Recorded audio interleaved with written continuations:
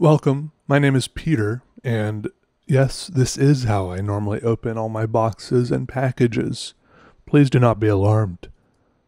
Today I'm going to show you a revolutionary and world changing new creativity technique that could open up a whole new world of drawing and doodling for you.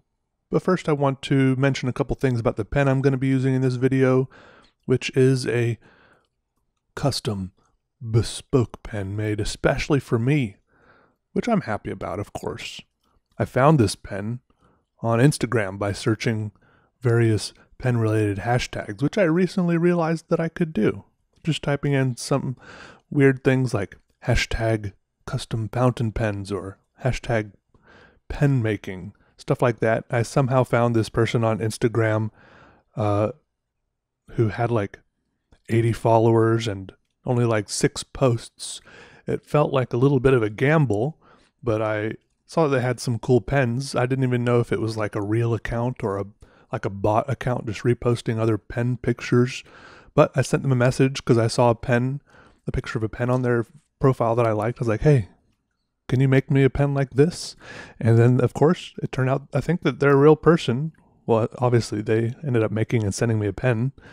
Uh, and they re- responded to me, and I could talk to them, and I could like tell them what I wanted in a pen, and I could choose various things about it. You know, like the the the wood type and the what kind of finish I wanted, like the matte if I want it to be matte black or a more of a glossy finish. I think when they do the glossy finish, they just put crazy glue on it. Super glue, or they, the the the pen turners call it CA glue. I think that stands for cyanoacrylate. And then they, they put glue on the outside and then just polish it up with that crazy, like 12,000 grit sandpaper. Anyways, what I wanted was this matte black, blacked out, kind of ominous and plain pen, sort of inspired by a nuclear submarine. It's kind of intense and utilitarian but also an element of beauty to it because if you look closer, you can see that does have that wood grain from the African blackwood. I had this conversation with this person, and I'll put a link to their profile, of course, down in the description. Definitely go check them out, give them some business if you want to order a custom pen, because I felt I felt very good. Like I'm an artist, I love it when people order stuff from me, right? Whether it's my original drawings or my books, and so I felt really good about giving another artist business, right? I felt like it kind of completed some sort of cycle or continuum in the universe. Artists buying from other artists, sort of like that. And so I'm happy I'm in like in a place where I can buy from other artists. Anyways, I got the pen. It came. It's got it's like a black. It's African blackwood. It's got a black Bock number six nib, I think, and it works great. All right, less about the pen now, more about this revolutionary pink square method. What happened was I wanted to start drawing, but I wanted to loosen up a little bit first, kind of get the juices flowing. So I pulled out a pink post it note and I started doodling on it. And I'll be honest, I, at first I never intended for this pink post it note to be a part of the doodle to go. I never intended for it to to go any further than just existing at the very beginning of the video. But as I drew, I realized, hey, maybe I can just take what I've drawn here on the pink post-it note and kind of tear it off of the pad of post-it notes and stick it right there onto the paper. The paper is the Rhodia dot pad that I've been using recently. I like it. And the dots there kind of in, guaranteed that I could stick it on there straight. And I didn't really need to stick it on there straight. I could have stuck it on an angle, but I gave myself that little rule that I would stick it on there straight for no reason. And I stuck it on there, and then I just continued drawing like like the square meant nothing. Like I could draw on the square, I could draw off the square, I could draw lines that went both on and off the square, regardless of borders. Isn't that a great word? Irregardless. Mm. And then I, I, I pulled out another pink square and I put that on there as well. I drew on both of them and connected those both to the drawing, and then I realized I could move the pink squares and move chunks of the drawing around. And where one chunk had been, it was now in another place of the drawing, and I could now complete that part of the drawing with something else entirely.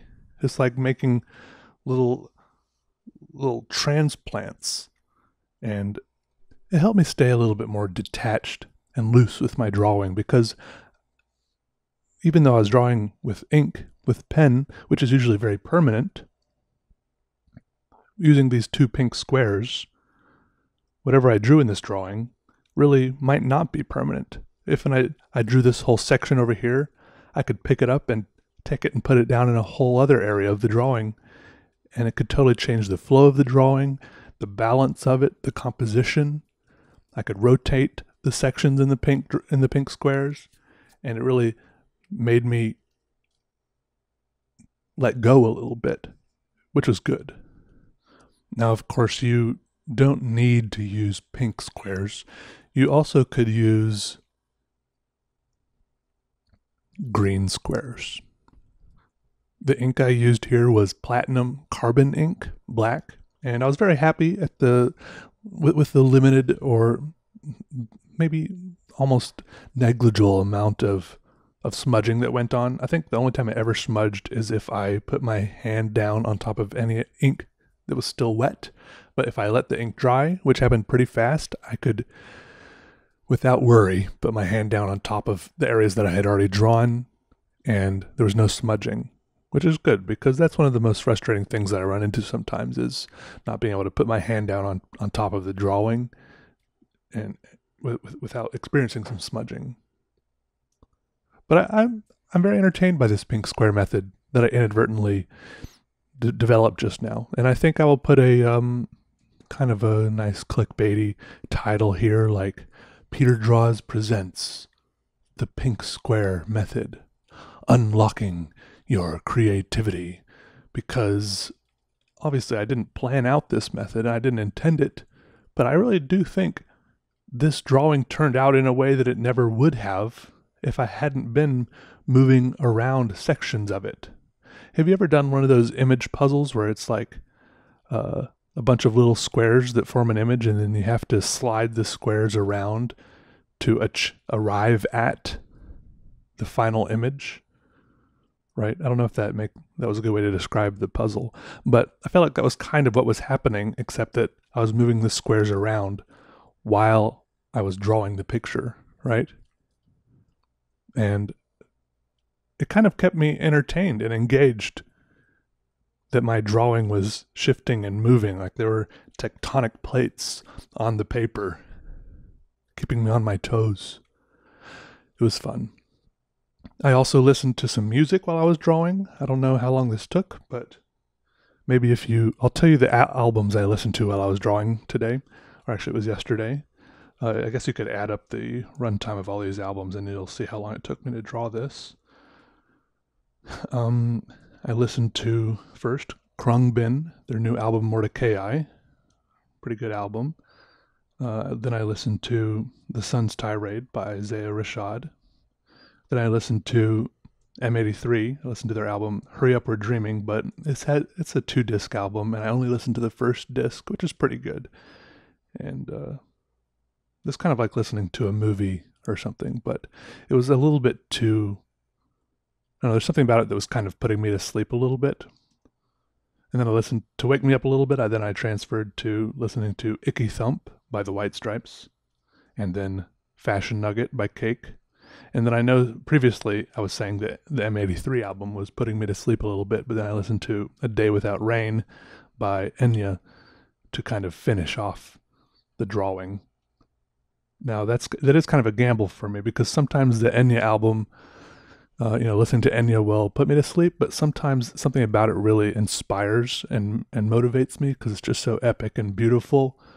And I kind of grew up listening to Enya because that's what stuff, kind of stuff my dad listened to. So it's just, you know, if you listen to music that you have a long history with and is deeply ingrained in your brain, uh, there's something that's really pleasurable about that for me. because you can really kind of sing along with it in your head or verbally, right? So I enjoy that. Uh, but that really helped me finish out finish out the drawing strong, you know. So those are the one, two, three, four, five, six or five, five and a half albums I listened to. The M83 album is really pretty long. I listened to one album's length of it. Anyways, and then I, I cut trees on RuneScape the whole time, also at the same time. I think I'm kind of weirdly addicted to never only doing one thing at a time, right? Like as I was editing this video, I have three monitors. On one monitor, way over on the left, I was watching either House or Top Gear the whole time. In the middle monitor, I was doing the video editing, and on the right hand monitor, I was once again just cutting trees on RuneScape the whole time. So it's like I want to be doing as many things as possible. I don't know why. And they're not, I mean, that's not even like a productivity thing because, uh, you know, cutting trees on RuneScape and watching Top Gear, these aren't even things I can be happy about later in my life that I was doing. These aren't even accomplishments, right?